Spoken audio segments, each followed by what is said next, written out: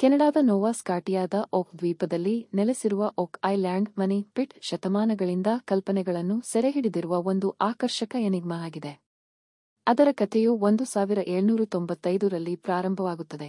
ಕುತೂಹಲಕಾರಿ ಹುಡುಗರ ಗುಂಪು ದ್ವೀಪದ ಭೂಪ್ರದೇಶದಲ್ಲಿ ವಿಚಿತ್ರವಾದ ಖಿನ್ನತೆಯ ಮೇಲೆ ಎಡವಿ ಬಿದ್ದಾಗ, ಅದರ ರಹಸ್ಯಗಳನ್ನು ಬಹಿರಂಗಪಡಿಸಲು ಉತ್ಸುಕರಾಗಿ ಅವರು ಆಳವಾಗಿ ಅಧ್ಯಯನ ಮಾಡಿದರು. ಧ್ವಜದ ಕಲ್ಲುಗಳು ಮತ್ತು ಮರದ ವೇದಿಕೆಗಳ ಸತತ ಪದರಗಳನ್ನು ಕಂಡುಹಿಡಿದರು. ಅವುಗಳ ಕೆಳಗೆ ಒಂದು ಗಾಢವಾದ, ನಿಗೂಢವಾದ ಶಾಫ್ಟ್ ಇತ್ತು, ಅದು ಒಳಸಂಚುಗಳನ್ನು ಹುಟ್ಟುಹಾಕಿತು. ಆದಾಗ್ಯೂ, ಹುಡುಗರಿಗೆ ಮುಂದುವರಿಯಲು ಸಾಧ್ಯವಾಗಲಿಲ್ಲ, ಮತ್ತು ಹಳ್ಳವು ಅಸ್ಪಷ್ಟವಾಗಿ ಮರೆಯಾಯಿತು.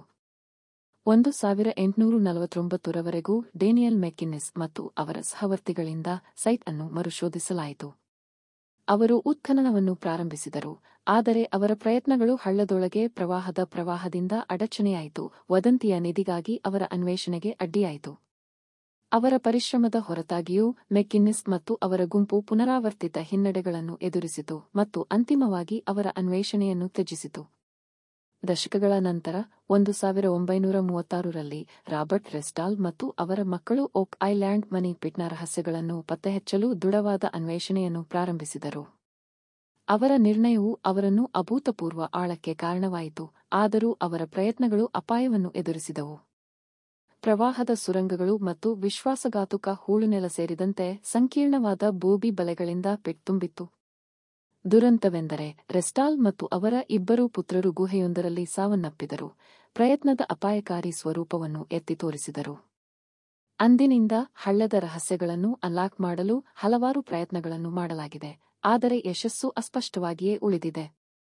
ಅದರ ಇತಿಹಾಸದುದ್ದಕ್ಕೂ ಓಕ್ ಐಲ್ಯಾಂಡ್ ಮನಿ ಪಿಟ್ ಅಸಂಖ್ಯಾತ ಸಿದ್ಧಾಂತಗಳೊಂದಿಗೆ ಸಂಬಂಧ ಹೊಂದಿದೆ. ಪ್ರತಿಯೊಂದು ಅದರ ನಿಗೂಢತೆಯನ್ನು ಸೇರಿಸುತ್ತದೆ. ಪೈರೇಟ್ ಟ್ರೆಷರ್ ಅತ್ಯಂತ ಪ್ರಸಿದ್ಧವಾದ ಸಿದ್ಧಾಂತವು ಪಿಟ್ ಕಡಲುಗಳ್ಳರ ನಿಧಿಯನ್ನು ಹೊಂದಿದೆ ಎಂದು ಸೂಚಿಸುತ್ತದೆ. ಇದು ತಮ್ಮ ಲೂಟಿಯನ್ನು ಮರೆಮಾಡಲು ಪ್ರಯತ್ನಿಸಿದ ದರೋಡೆಕೋರರಿಗೆ ಕಾರಣವಾಗಿದೆ. ಈ ನಿಧಿಯು ಅಪಾರ ಮೌಲ್ಯವನ್ನು ಹೊಂದಿದೆ ಎಂದು ನಂಬಲಾಗಿದೆ. ಸಂಭಾವ್ಯವಾಗಿ ಶತಕೋಟಿ ಡಾಲರ್ ಮೌಲ್ಯದ್ದಾಗಿದೆ. ಒಡಂಬಡಿಕೆಯ ಆರ್ಕ್ ಮತ್ತೊಂದು ಕುತೂಹಲಕಾರಿ ಸಿದ್ಧಾಂತವು ಒಡಂಬಡಿಕೆಯ ಆರ್ಕ್ಗೆ ಪೆಟ್ಟನ್ನು ಜೋಡಿಸುತ್ತದೆ. ಬೈಬಲ್ನ ಅವಶೇಷವು ಹತ್ತು ಅನುಶಾಸನಗಳನ್ನು ಹೊಂದಿದೆ ಎಂದು ಹೇಳಲಾಗುತ್ತದೆ. ನೈಟ್ಸ್ ಟೆಂಪ್ಲರ್ ಓಕ್ ದ್ವೀಪದಲ್ಲಿ ಆರ್ಕ್ ಅನ್ನು ಮರೆಮಾಡಿದ್ದಾನೆ ಎಂದು ಕೆಲವರು ಪ್ರಸ್ತಾಪಿಸುತ್ತಾರೆ. ಇದು ಇತಿಹಾಸ ಮತ್ತು ಪುರಾಣಗಳ ನಡುವಿನ ಸಂಪರ್ಕವನ್ನು ಸೂಚಿಸುತ್ತದೆ. ನೈಸರ್ಗಿಕ ವಿದ್ಯಮಾನ ಹಳ್ಳವು ಮಾನವ ನಿರ್ಮಿತವಲ್ಲ ಬದಲಿಗೆ ಸಿಂಕ್ಹೋಲ್ ಅಥವಾ ಗುಹೆಯ ರಚನೆಯಂತಹ ನೈಸರ್ಗಿಕ ಭೂವೈಜ್ಞಾನಿಕ ಪ್ರಕ್ರಿಯೆಗಳ ಉತ್ಪನ್ನವಾಗಿದೆ ಎಂದು ಹೆಚ್ಚು ಸಂಶಯಾತ್ಮಕ ದೃಷ್ಟಿಕೋನವು ಪ್ರಸ್ತಾಪಿಸುತ್ತದೆ. ವಂಚನೆ ಕೆಲವು ಸಂದೇಹವಾದಿಗಳು ಓಕ್ ಐಲ್ಯಾಂಡ್ ಮನಿ ಪಿಟ್ ಒಂದು ವಿಸ್ತಾರವಾದ ವಂಚನೆ ಎಂದು ಪ್ರತಿಪಾದಿಸುತ್ತಾರೆ. ಯಾವುದೇ ನಿಜವಾದ ನಿಧಿಯಿಲ್ಲ. ಈ ಸಿದ್ಧಾಂತದ ಪ್ರಕಾರ ಸಂಪೂರ್ಣ ನಿರೂಪಣೆಯು ಕಟ್ಟುಕತೆಯಾಗಿರಬಹುದು ಸತ್ಯದಲ್ಲಿ ಹಳ್ಳದ ರಹಸ್ಯಗಳಿಗೆ ನಿರ್ಣಾಯಕ ಉತ್ತರವು ಅಸ್ಪಷ್ಟವಾಗಿ ಉಳಿದಿದೆ. ಅದರ ಆಳದಲ್ಲಿ ನೆಲೆಗೊಂಡಿದೆ ಮತ್ತು ಶತಮಾನಗಳ ದಂತಕತೆ ಮತ್ತು ಊಹಾಪೋಹಗಳಿಂದ ಮರೆಮಾಡಲಾಗಿದೆ. ಅನಿಶ್ಚಿತತೆಯ ಹೊರತಾಗಿಯೂ, ಓಕ್ ಐಲ್ಯಾಂಡ್ ಮನಿ ಪಿಟ್ ಮಾನವನ ಕುತೂಹಲ, ಸ್ಥಿತಿಸ್ಥಾಪಕತ್ವ ಮತ್ತು ಅಪರಿಚಿತರ ಆಕರ್ಷಣೆಗೆ ಸಾಕ್ಷಿಯಾಗಿದೆ.